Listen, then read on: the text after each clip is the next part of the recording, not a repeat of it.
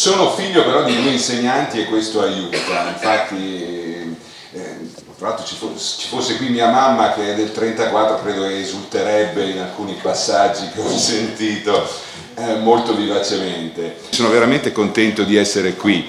Io poi non mi sono occupato di scuola ma mi sono occupato di politica perché ero un cattivo studente come del resto succede a molti politici. No?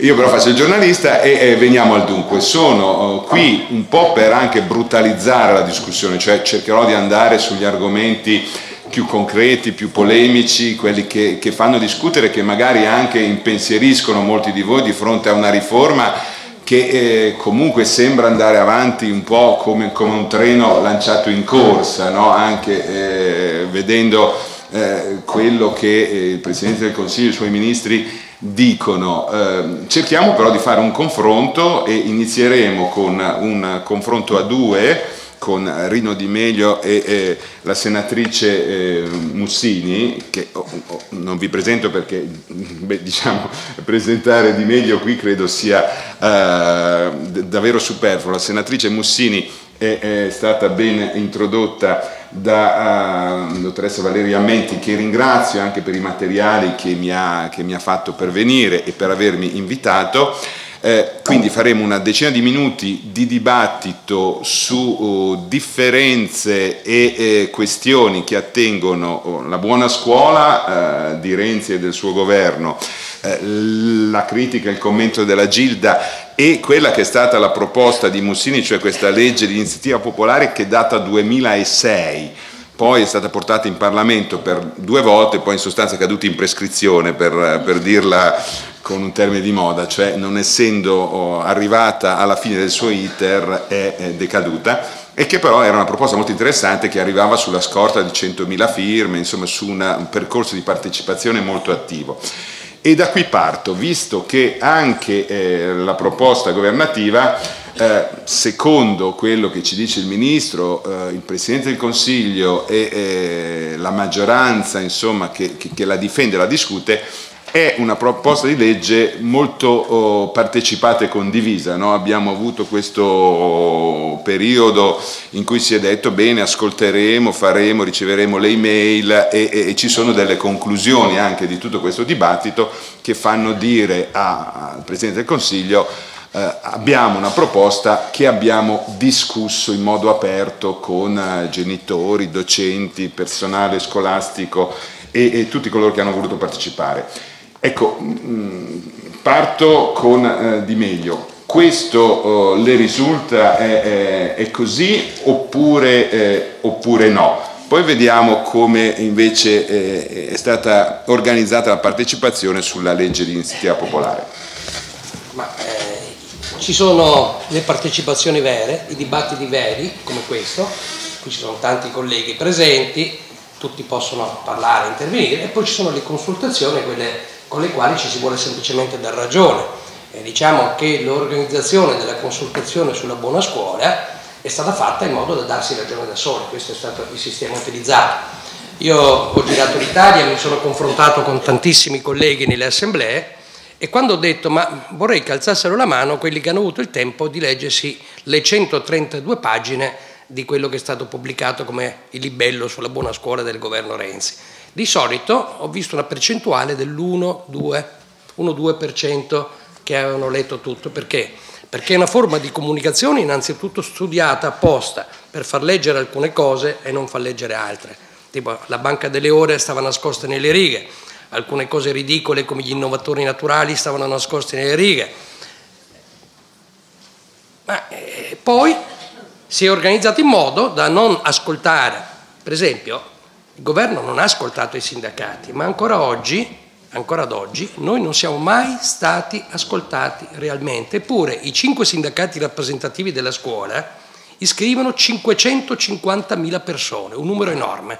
Io non dico che noi dobbiamo governare, perché ognuno ha il suo ruolo, ma il diritto all'ascolto c'è. Ad oggi né noi, né mi risulta neppure le commissioni parlamentari hanno avuto un pezzo di carta su cui confrontarsi. Un pezzo di carta significa un disegno di legge col quale puoi ragionare, dire questo va bene, questo no, questa è una stupidaggine, parliamone. Ecco, quindi il confronto vero non c'è stato. Io non sono stato invitato mai a un confronto, un, un unico dibattito mi hanno invitato. Una sezione del Partito Democratico di Roma, una delle più antiche, quella di Trastevere, che una volta era molto affollata. Sono andato lì, c'era un palco come questo, i microfoni.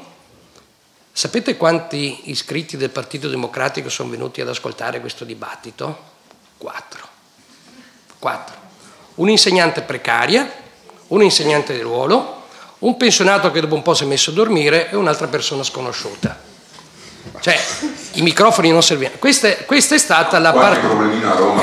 eh. Eh, questa è stata la partecipazione. Eh sì, eh, eh sì, eh sì. Vabbè.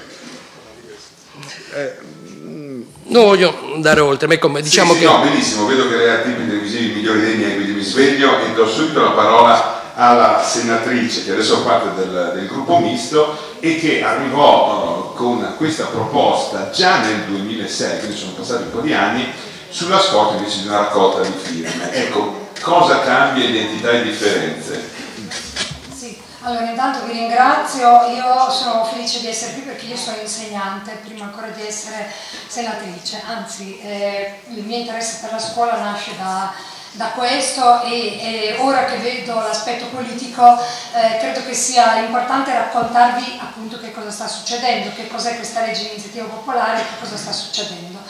Quando, già quando ancora, ancora, prima di entrare in Senato io ero in contatto con i comitati che a suo tempo avevano lavorato in un percorso partecipato per definire, all'epoca si parlava soprattutto di reazione a prima Moratti e poi Gelmini e quindi si trattava di definire una serie di eh, principi, prima di tutto, sui quali incardinare invece una proposta di scuola che avesse la novità di non essere dentro ad una legge finanziaria, ma di avere un percorso invece di discussione su eh, che cosa vogliamo dalla scuola, come la vogliamo, come vogliamo che questa scuola riprenda aggiornando quelli che però devono rimanere i principi costituzionali dell'istruzione. Per cui venne, vennero raccolte le firme, venne presentata questa legge che io ho ripresentato a mio nome, con, eh, facendomi, questo era il mio mandato, questo è il mandato con cui sono entrata, facendomi tramite di un'istanza che nasceva appunto da oltre 100.000 firme e da un lavoro che è durato parecchi anni.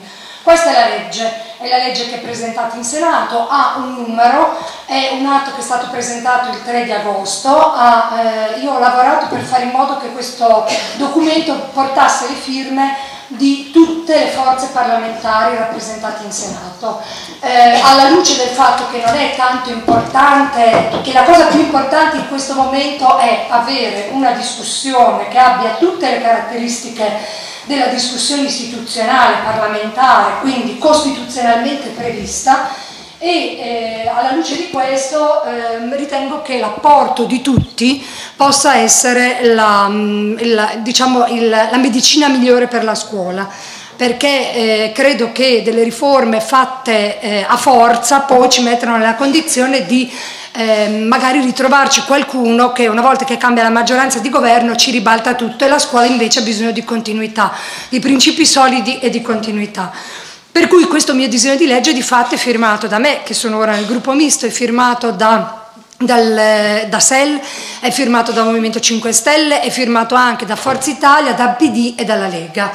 Quindi voi capite che sono sensibilità diverse nei confronti della scuola, ma tutti siamo riuniti da una volontà forte di far sì che questo, questa discussione abbia un iter parlamentare vero e serio. Presentata il 3 agosto, voi capite che quando eh, ci siamo trovati davanti il PDF eh, del governo Renzi ci siamo sentiti dire, un po' schiaffeggiati perché c'è un disegno di legge, questo disegno di legge esiste, è un documento, ha eh, tutta la dignità di essere e la forza anche per poter essere discusso, è stato assegnato alla Commissione parlamentare soltanto, eh, mi pare, mm, mm, un mese fa, qualcosa del genere, e eh, di fatto la commissione parlamentare non ha mai, eh, nella figura del suo presidente, non ha mai espresso la volontà di incardinarlo, anzi. Questo è il primo dato. Noi vorremmo che comunque questa legge venisse presa e discussa, emendata, cambiata a seconda delle diverse sensibilità, negoziata eh, fatto tutto nella massima trasparenza, con la massima visibilità, sotto gli occhi di tutti, con la possibilità dell'apporto di tutti, tramite audizioni, sentendo appunto i sindacati, sentendo le organizzazioni della scuola, cioè quel lavoro che la Costituzione decide che si fa nelle commissioni parlamentari. Eh, è chiaro che se noi adesso ci troviamo invece davanti un decreto, che tra l'altro è ignoto nei suoi contenuti, nel senso che noi le informazioni sui contenuti del decreto le possiamo dedurre da, una, eh, da un PDF che ha già eh, commentato il segretario, quindi eh, non, non, approfondisco, con una finta consultazione, anche questa è già stata commentata e anche il risultato della consultazione, se volete andarla a vedere in rete, è un risultato nel quale vengono un po' mistificate tutte le critiche che, sono, che noi sappiamo che sono state fatte alla buona scuola ehm, e che non ha avuto l'ascolto di, eh, di, tutti quei collegi dei docenti che comunque si sono espressi, che non ha un'interlocuzione con i sindacati, che pretende per via delle notizie di stampa che abbiamo, che pretende di intervenire su una materia estremamente vasta e complessa per il tramite della definizione di necessità e urgenza. Questa è la prima cosa contro cui noi intendiamo ribellarci. Abbiamo, io come parlamentare ho scritto al Presidente della Repubblica perché nel suo discorso ha sottolineato la necessità di rispettare i ruoli reciproci, c'è un esecutivo che ha tutto il diritto e il dovere di essere esecutivo, in questa legge ci sono tanti aspetti che correttamente vengono demandati ai decreti ministeriali perché è l'esecutivo che giustamente deve dare poi eh, attraverso un, suo, un, proprio decreto deve dare concretezza al, ai principi, però è una legge nella quale si fissano alcuni principi tra i quali uno, il primo che voglio citare, poi se vogliamo magari approfondiamo, è quello delle risorse perché io prima ascoltavo il professor Bocchi e mm, mi, mi, piaceva moltissimo quello che lui diceva sul ruolo dell'insegnante nel far crescere e nello stimolare un, tutti gli individui che ha davanti, la valorizzazione dell'esperienza, che non è anzianità come in quell'orrido documento si vorrebbe fare eh, passare come se l'anzianità fosse il titolo che noi andiamo a mettere in campo, non è un'anzianità anagrafica, stiamo parlando di esperienza, dobbiamo rivendicare il fatto che il nostro servizio è esperienza, non è semplicemente invecchiamento. La formazione continua, balsamo per le mie orecchie, le ore di studio, tutte le ore di studio e di preparazione, il problema della frattura con l'università che si è creata in anni molti, molto lontani e il valore dell'approccio che ha la nostra scuola. Però io mi rendo anche conto, per mia esperienza personale, che oggi un insegnante che è afflitto da un numero di studenti eh, in, inaffrontabile in, un, in, in un'istruzione che voglia essere individualizzata, afflitto da problemi burocratici infiniti, afflitto dalla necessità di eh, prestare la sua opera anche gratuitamente per non far perdere alla propria scuola l'offerta formativa che si è voluta dare, allora tutto questo si deve risolvere prima di tutto stabilendo in modo chiaro con una scelta politica ben precisa e definita se si vogliono dare o no risorse alla scuola, perché se si vogliono dare poi la strada si spiana, se non si vogliono dare lo si deve dire con coraggio e con chiarezza e con onestà. Ecco però, non l'ho interrotto perché il discorso mi sembrava in effetti interessante e ci aiuta a entrare nei punti caldi del nostro dibattito. Anticipo che fra qualche minuto apriremo anche le domande della platea, quindi preparatevi perché vogliamo appunto avere un dibattito molto vivo. E allora entro subito nei due temi forse diciamo, più discussi, che credo siano quelli del merito e di questo no, nuovo procedimento, eh, nuovo processo di valutazione dell'insegnante e l'altro che è quello delle assunzioni, insomma, di cui tanto si è parlato. Ma visto che eh, la Mussini era già un po' sulla questione merito, esperienza, anzianità, eccetera, le propongo quel tema lì. Allora, sul merito, in realtà eh, molti hanno avuto una reazione positiva, io stesso no, quando è stata presentata la cosa ho detto beh finalmente eh, gli insegnanti verranno valutati e i migliori potranno avere anche no, vantaggi dal punto di vista dello stipendio, eccetera. Poi ebbe la fortuna di ascoltare un dibattito radiofonico più specifico e in effetti molti dubbi vengono. Lei quali punti interrogativi ha nella testa sul, sul merito? Chiariamo subito una questione. Gli insegnanti non sono contrari né al merito né alla valutazione, ci mancherebbe altro.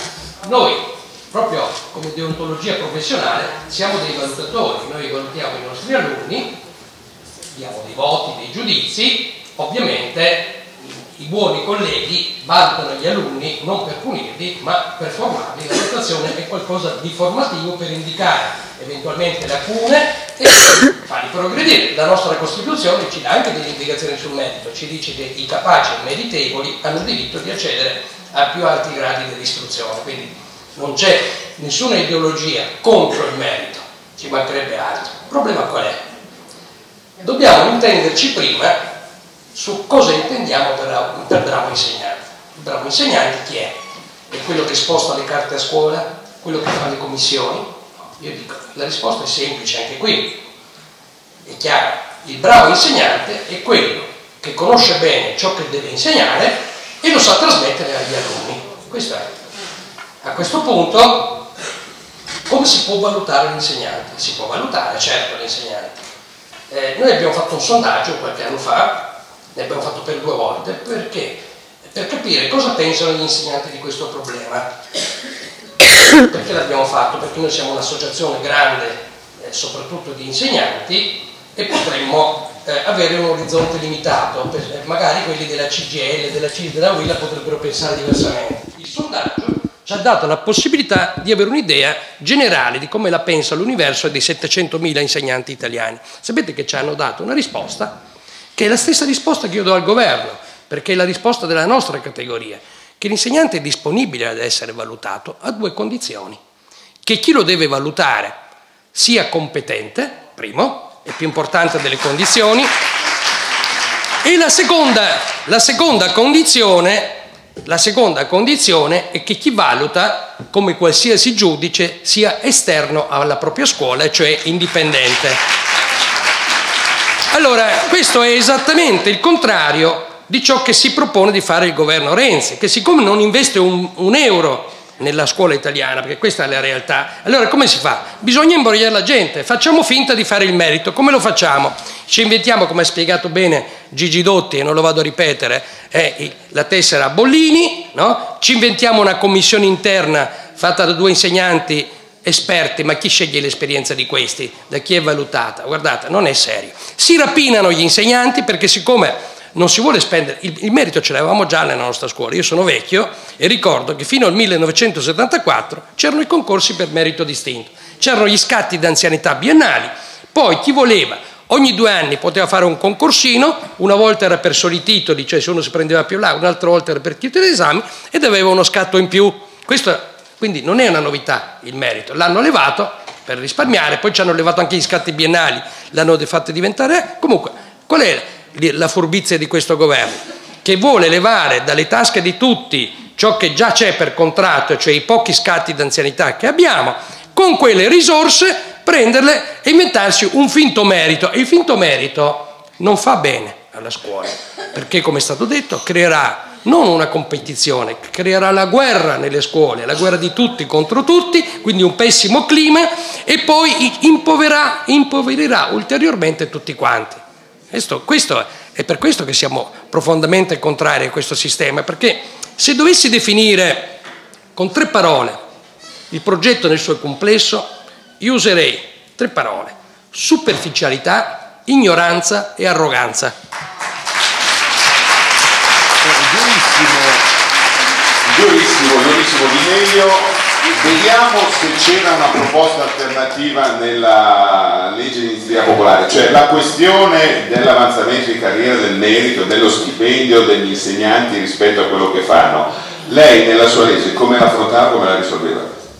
Allora, intanto nella nostra legge noi poniamo, un, eh, poniamo il tema della valutazione con una prospettiva completamente diversa, perché il punto è, e qua mi riferisco a quello che penso che molti conoscano, che è il tema della ricercazione, e cioè all'insegnante preme eh, fare in modo che il proprio lavoro in classe sia fatto bene, sia ehm, agile, e porti dei frutti. Io credo che a nessuno, perché si, si deve partire da un presupposto, dal presupposto onesto che chi va in classe ha come obiettivo quello di avere dei buoni risultati, mentre sembra sempre che si parta dal presupposto che chi va in classe va in classe per chissà quali altre ragioni.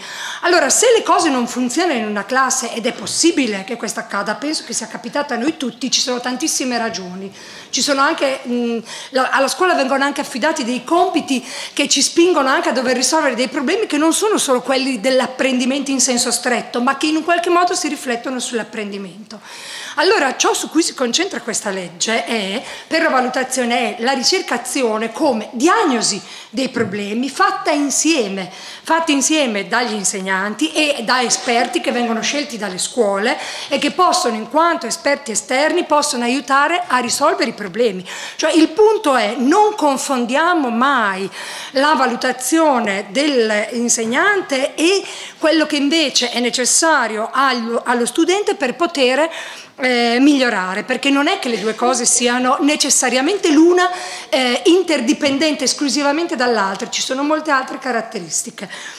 È chiaro che il merito eh, è, è, fondamentale, è fondamentale nel senso che il, la capacità, ma è fondamentale nel senso che Ciascuno degli insegnanti deve avere il diritto e gli deve essere riconosciuta la possibilità di crescere nella sua carriera, di approfittare dell'esperienza degli altri e di eh, migliorare. Qui noi non entriamo nel merito di eh, aspetti che sono legati al contratto, perché non è di competenza, gli aspetti legati al contratto sono aspetti che devono essere gestiti dalle organizzazioni sindacali con il Ministero. Qui noi fissiamo dei principi e non possiamo spacciare per riforma della scuola scuola quello che invece è un problema economico di definizione del contratto. Questa visione della scuola è una visione che parte, che ha come centro la riuscita di tutto il sistema, insegnanti, personale ATA, docenti, famiglie. In questa, in questa proposta c'è la creazione di organi collegiali che sono il consiglio dei genitori, il consiglio degli studenti, il consiglio del personale ATA, il collegio dei docenti che, no, che, è presieduto da uno dei docenti, cioè c'è una visione che non è né gerarchica e neppure una visione che sia esclusivamente incentrata sull'aspetto contrattuale della figura dell'insegnante. Queste cose sono cose che devono essere risolte in altra sede. Quello che ci preoccupa invece è vedere come questa centralità del successo di tutto quello che avviene a scuola venga sempre messa in secondo piano ehm, così come, come l'Invalsi, che, che, che, che, è vergognoso perché utilizzare l'Invalsi non si capisce se l'Invalsi venga fatto per valutare i livelli di conoscenze, e questo dovrebbe essere degli studenti, ma poi in realtà viene utilizzato surrettiziamente per andare a vedere la capacità degli insegnanti, il che è sbagliatissimo perché io minimo minimo devo misurare un differenziale. Tu almeno, almeno mi devi mettere nella condizione di dire questo era lo studente quando è entrato in questa classe, il consiglio di classe, perché non è mai l'azione di uno solo, è un'azione collettiva, il consiglio di classe ha lavorato, questo è quello che è uscito. Il minimo, minimo, se vuoi avere un minimo di onestà, altrimenti mi stai prendendo in giro. Quindi noi rigettiamo tutti questi aspetti che sono, dire, che sono, finalizzati a una ragioneria e andiamo invece a concentrarci su aspetti che sono la diagnosi e la soluzione dei problemi che ci coinvolgono tutti, non è che debbano essere usati per dare la colpa agli uni agli altri.